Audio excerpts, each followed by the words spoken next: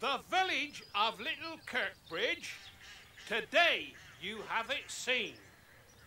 And we finish now where we began, upon the village green. Is he serious?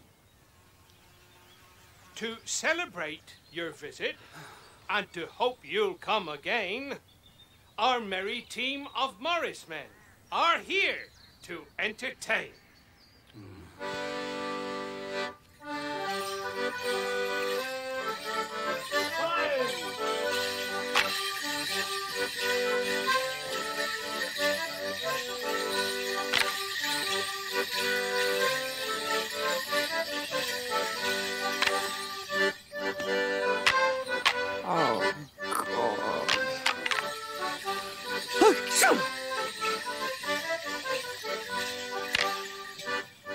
We got longsword dancing, clog and molly dancing, a Norfolk border dance with sticks, and finally they all put on antlers for something called an Abbots Bromley horn dance. How many points did you give them? Well, I thought they were rather fun, but I don't think the others were very impressed. Well, the other judges.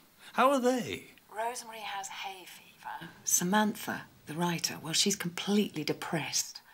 Frank Mannion's all right, although I'm afraid after dinner he disappeared with one of the waiters. Come home. I'll see you tomorrow. Midsomer Mallow. Bye.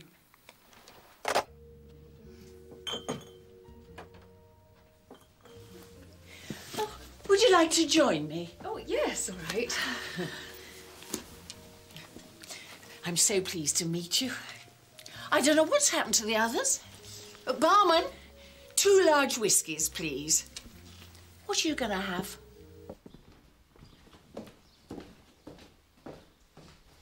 Why didn't you tell her? What?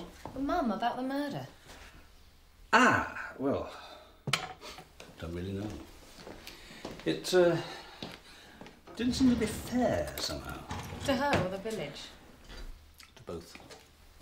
I don't see how you can be a perfect village when you've got a homicidal maniac running around with a pitchfork. No, maybe that's my point. I didn't want to influence her judgment.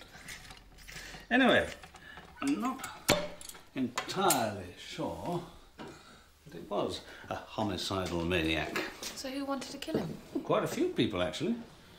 He was having an affair with the vet's wife, and he was carrying on with someone else's daughter. At the same time? hmm And then there were the burglaries. He was breaking into people's houses. Yes, but you don't murder someone just because they burgled you, do you? Ah. Well, as a matter of fact, one of the victims threatened to do exactly that. Edward Allardyce. He said as much to me. If I ever get my hands on the little bastards that did this, I'll kill them. Edward Allardyce, the actor. Did you know him? Dad, Edward Allardyce did four seasons at the Playhouse. You know he was married to Jane Rochelle? Back in the 60s, she was said to be one of the most beautiful women in the world. She made a lot of films in America, but then she died in a car accident, I think. Is he really living in Midsomer Mallow? Yep. Do you think I could meet him? Oh, he could tell me everything I need to know.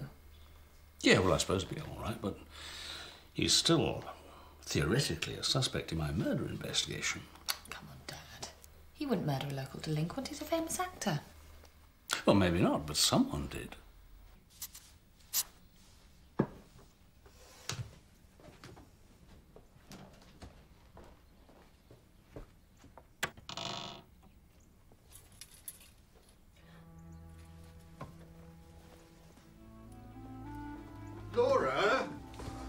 Aren't you ready yet?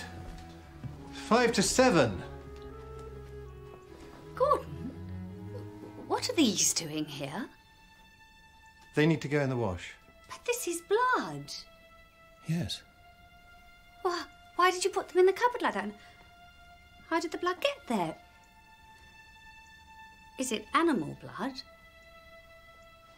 Oh, yes. It's animal, all right.